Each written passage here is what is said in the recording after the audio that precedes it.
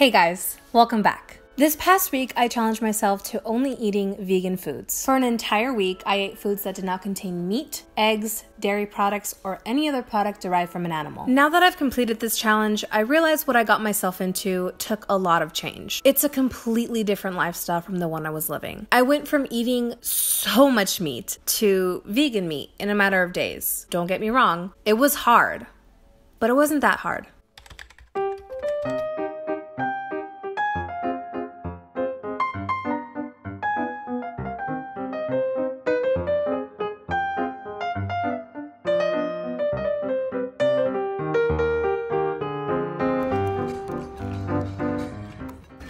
This.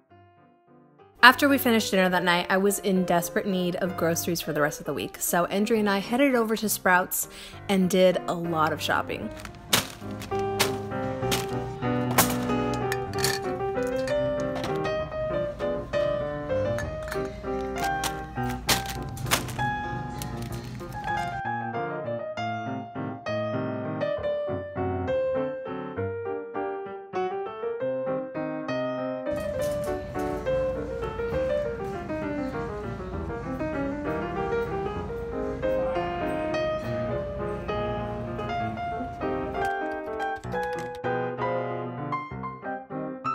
For breakfast on Monday, I didn't really get to film much because I was running late for class. I'm gonna be late, I'm gonna be late, I'm gonna be late, I'm gonna be late.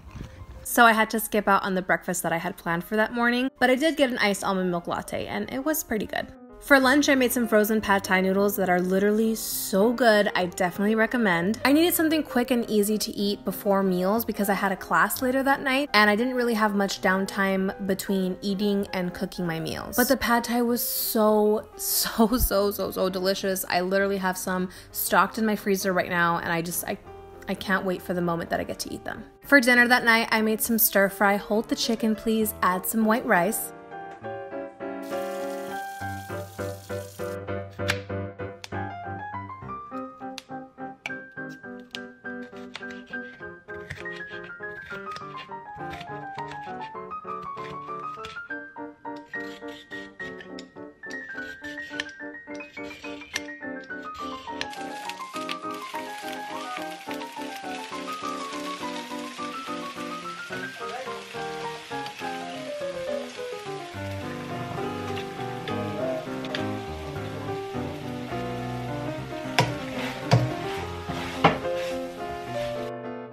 It's almost the same way as how I make my regular chicken stir fry, except obviously with the chicken. And then the stir fry sauce that I used um, has vegan ingredients, obviously. So, throughout this whole process, I took note of how I felt each day, and I noticed that on the first day, I felt extremely hungry. Almost 30 minutes after eating each meal, I would feel like I was starving and like I hadn't eaten anything all day. So, I was snacking so much on the first day. I had kombucha, I had fruit, I had a fig bar, I had skinny pop popcorn. But The good news is, I felt so much better the rest of the week. I just needed to get through that first day. For breakfast on Tuesday morning, I grabbed an acai bowl from a place across the street from my school. This was actually my first time having an acai bowl. I got something called the Sunset Bowl, which had pineapple, mango, strawberries, and unsweetened coconut milk, topped with organic hemp flaxseed granola, coconut, fresh strawberries, and fresh kiwi. For lunch that day, I felt like I needed a little bit of a pick me up. Something that was gonna make me feel like, okay, You've got this. This isn't that hard, Alyssa. So, I drove down to Carl's Jr. to try their new Beyond Meat Burger.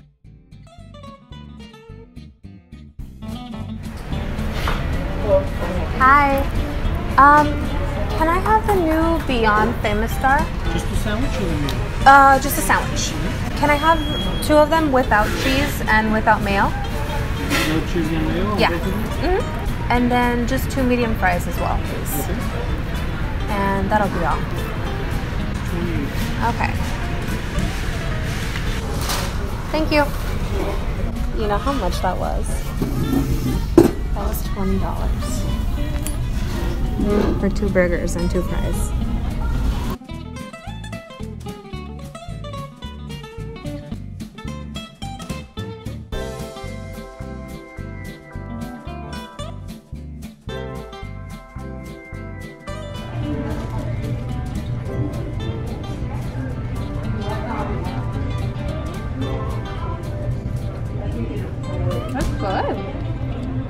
I will say I was very pleasantly surprised at how good it tasted, but if I'm being honest, the meat it looked a little weird you know? It just there was something about the way it looked that really was unappetizing. Kind of grossed me out a little bit but i didn't look at it so that i could finish my burger and i did. It was good. It's just like if you look at the meat it might like freak you out a little bit.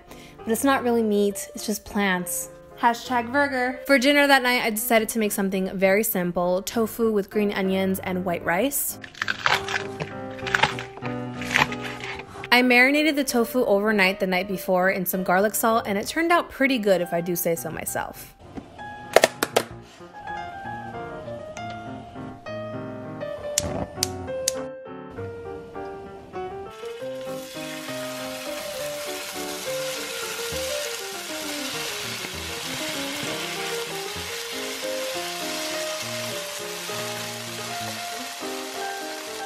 My sisters used to make this for me when I was younger, and I remember it tasting so, so good. But the way I made it, it kind of tasted a little bit off. But I think it was just the way I cooked the tofu. I think if I cooked it a little bit longer, probably would have liked it better. But overall, it was good.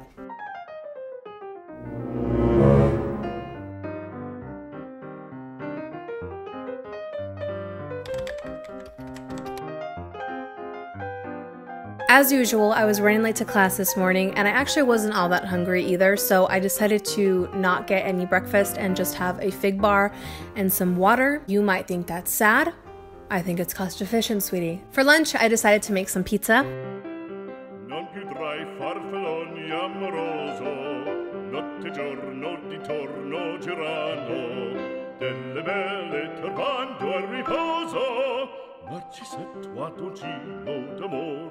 Delle belle turbando il riposo Narcisetto a dolcino d'amor. Non più avrai questi bei panacchini. Quel cappello leggero galante Quella chioma, quell'aria brillante Quel vermiglio Ravioli, ravioli, give me the formuoli.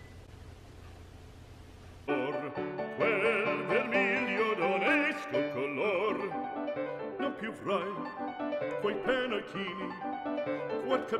I was watching Jessie Smiles' video where she made her lasagna, and she was saying that a lot of vegan cheeses just taste very funky and they taste good in small portions. I didn't know that, so I went a little bit overboard on my cheese for the pizza and it looked heavenly. Tasted not so great. Not so great. A little funky. Everything else is delicious though. The mushrooms, the pizza crust, the baby spinach, the marinara. Oh. But that damn cheese. For dinner that night, I had some El Pollo Loco. I ordered a grande avocado chicken bowl, but I took out the sour cream and the cheese and I substituted the chicken for extra avocado, and it was so good. You got avocado, you got fresh garden salsa, you got beans, you got rice. Mmm, highly recommend. For breakfast on Thursday morning, I had toast with some Nutiva on it, which is basically like a vegan Nutella, and I put some sliced almonds on it. Oh, so good. For lunch, I made a vegan Alfredo with some broccoli.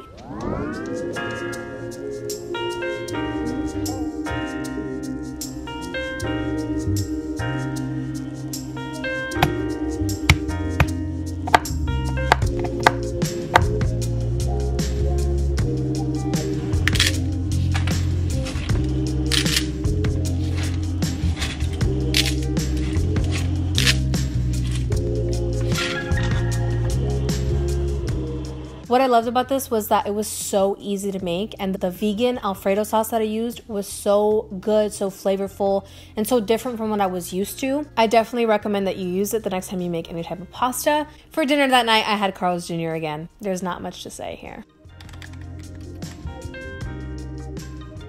Friday morning, didn't happen for me. I was up until 4 a.m. with friends the night before, so I ended up waking up like around 1 the next day. So I didn't have breakfast. Definitely didn't have breakfast. But for lunch the next day, I just had some leftovers of the Alfredo. Okay, but here's where things get exciting for this day, okay? Because for dinner, I had Taco Bell. Mm-hmm, that's right.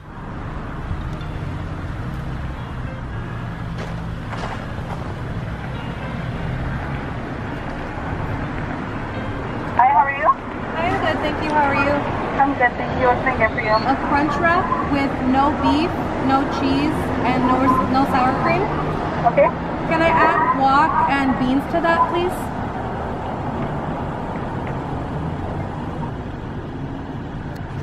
Okay. And then um, a seven-layer burrito with no sour cream and no cheese. Okay. And that'll be all. Filipino one at the second window. Thank right. you. Thank you so much. I will keep it 100% honest with you, as I always do. The crunch wrap was good. It was like an 8 out of 10. The guac was good too. Never had the guac from Taco Bell. The burrito, on the other hand, it was cold. I thought it was supposed to be a hot burrito. Correct me if I'm wrong, but it was cold and it didn't taste good. Like, you know how you can feel like no, there was no love put into it? Like, there was no love put into it. There was a little bit of like hatred maybe some spit because I veganized it, so maybe they spit in it or something. It just wasn't good. I worked Saturday morning, so I had to settle with some more Nutiva on toast with sliced almonds on it and some coffee. When I came home from work that day, I was ravenous, so I quickly heated up some pad thai noodles. I had that, that calmed my hunger for a bit, and then shortly after, I slaved away in the kitchen to make our dinner. I was literally on my feet from the morning until night, so I really wasn't in the mood to record the whole cooking process, but lucky for you, I used Jessie Smiles vegan lasagna recipe, so she does have a video for that, and I will link it down below if you're interested in watching, seeing the process, because it's very interesting, very, very, very good, and I highly recommend it.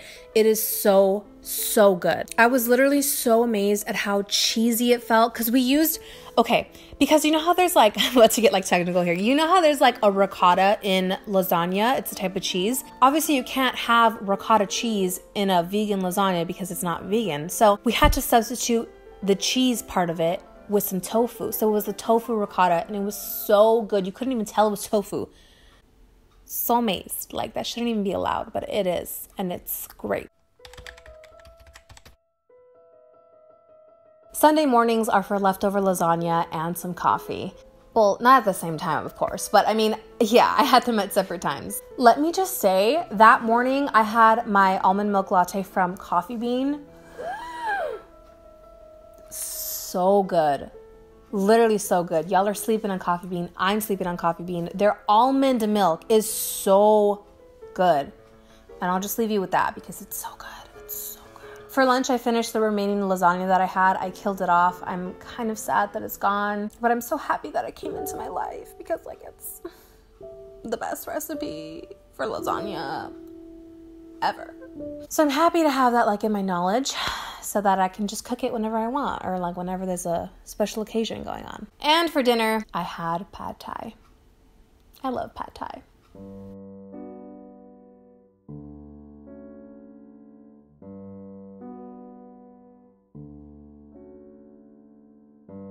When I told my friends and family that I was going vegan for a week, people's responses were mostly negative. I got comments like, You're crazy. That's too hard. Why would you do that? I could never do that. And the most common, I can't live without meat. It's crazy now, after I've gone through this process, to analyze what people said because that's how I felt in the days leading up to this challenge. One of the reasons why I wanted to do this was because I noticed that my eating habits were not good at all. Not good for me and not good for the environment. I was eating meat in almost every single meal I consumed. If you're confused on how eating meat and animal products is bad for the environment, don't worry, because I was too but I'm going to try to break it down for you as best I can using some articles that I found online. Meat production requires vast amounts of energy. Not only do you have to grow the crops to feed the animals, but fossil fuels are also burnt in the raising, slaughtering, and transportation of animals. In fact, livestock and their byproducts account for 51% of annual worldwide greenhouse gas emissions. So if you choose to eat meat, your greenhouse emissions can be twice that of someone on a plant based diet. Secondly, poorly managed animal waste products from the meat industry are polluting our environment and destroying habitats. Many pollutant waste products get washed into our systems. The nitrogen found in these wastes causes algae to grow on the water and starves the fish of oxygen. This process leads to the creation of dead zones, places where few species can survive. As of 2011, 530 marine areas were identified as dead zones. Finally, Food choices can have a big impact on our water demand. Unlike the majority of plant based foods, raising Animals requires vast amounts of water. This is because animals need water to drink, wash, clean their living spaces, and cool themselves during hot periods. In fact, a study comparing the water footprint of different foods found that while a soy burger has a water footprint of 158 liters, a beef burger has a water footprint of 2,350 liters, which is over 14 times as big. As someone who ate meat almost every single day for almost every meal and had whole milk every morning in my coffee, I'm living proof that you can do it too. So, for the people that think that they could never go vegan, I challenge you to try it for a day. And then maybe a week from now or a month from now, you can try for two, three, or four days. I'm not sitting here saying that I'm going to completely switch over to being vegan because that would be a lie. But after this week, I can confidently say that I know that I can get through another week of being vegan. And now I have more tools, resources, and knowledge to help me get through that week, possibly even more. I wanted to try this process for myself and to document it and show you guys because I had dinner like four times through a drive through. Almost every restaurant can accommodate to vegans. All you have to do is substitute things out, ask what things are made of, make sure that you read the labels on the things that you're buying, on the products you're buying. An interesting fact that I found out my boyfriend was drinking Coke. I was like, hey, pretty sure Coke is vegan. I don't think they have any animal products in it. So I looked it up just to be safe. Technically, it is vegan because it doesn't have like eggs or milk or whatever, but it has fish gelatin in it which is very weird and strange, kind of gross. Like, why is there fish gelatin in it? I think being vegan has helped me to actually look at what I'm putting in my body. Also helped me to grow as a person more than I feel like I would have ever grown without it because for 2019 I want to do so many things. I just want to be a better person, grow and just develop and learn and make mistakes and whatever, but I accomplished like four to five things already on my vision board. I was able to cook more. I was able to eat better. I was able to help the environment. I was able to drink more water. And I was even able to work out a little bit. I worked out like two times throughout this week.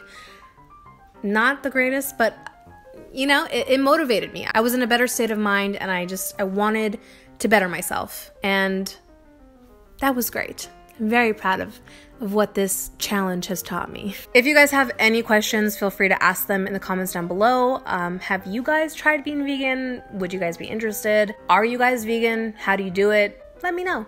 I'd love to know. So that's it for this week, guys. If you like this video, please make sure to give it a big thumbs up and subscribe down below for new videos every single week. Also, make sure to turn on my notification bell to be notified every single time I upload. As always, I love you guys very much, and I will see you in the next one. Bye!